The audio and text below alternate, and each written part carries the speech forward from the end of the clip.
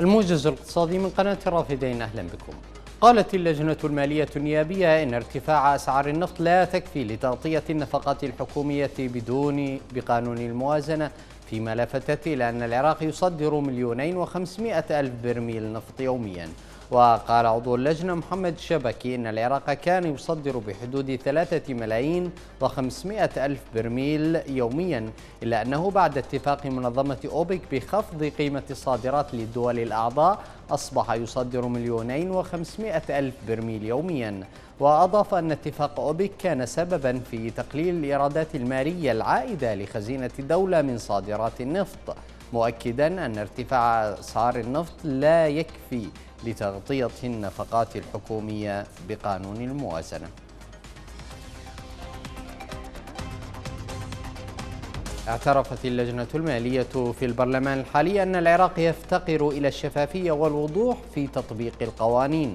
وقال مقرر اللجنة أحمد صفار إن تشريعات البنك المركزي والمصارف التي يتم التعامل بها حالياً تنص على أن أي مصرف بالعراق يحصل على إجازة تأسيس يجب عليه أن يضع مبلغا احتياطيا لدى البنك المركزي وأن هذا الاحتياطي يؤمن ودائع الزبائن في المصارف التي تتعرض إلى هزات وأزمات.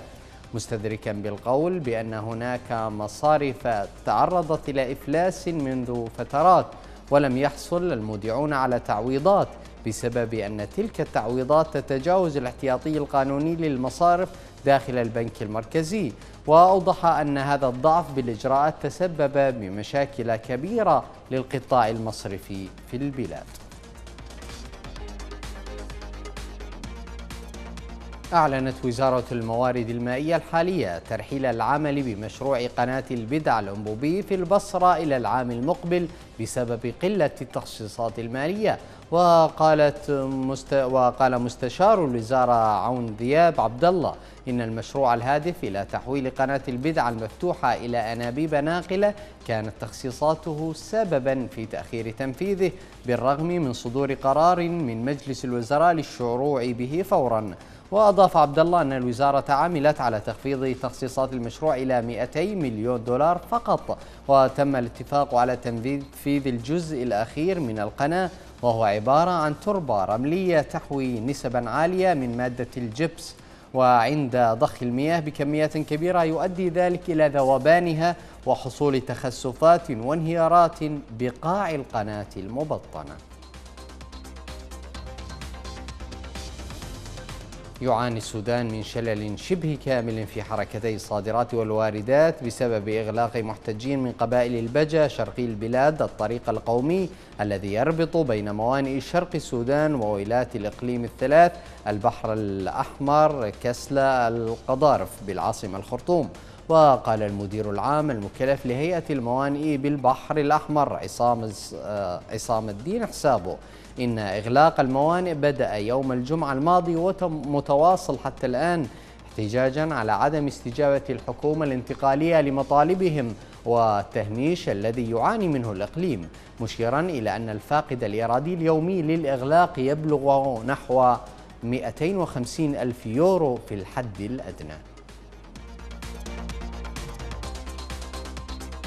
تواجه إدارة الرئيس الأمريكي جو بايدن أزمة مالية وسط رفض الحزب الجمهوري التصويت لصالح رفع سقف الدين العام من مستواه الحالي البالغ 28 تريليون دولار إلى مستوى أعلى يسمح لوزارة الخزانة بإصدار سندات دين جديدة توفر سيولة للحكومة الفيدرالية. وحتى الآن تعتبر سندات الدين الأمريكية المتوسطة مدة عشر أو عشر سنوات من أكثر الأدوات المالية جاذبية للمستثمرين والدول في أنحاء العالم إذ أنها تمثل الملاذ الآمن في أوقات الأزمات المالية والأدوات الأسرع في التحويل إلى سيولة ويقدر سوق السندات المالية بنحو 21 تريليون دولار حسب بيانات مؤسسة سيفما التي تراقب سوق الأدوات المالية الثابتة في الولايات المتحدة.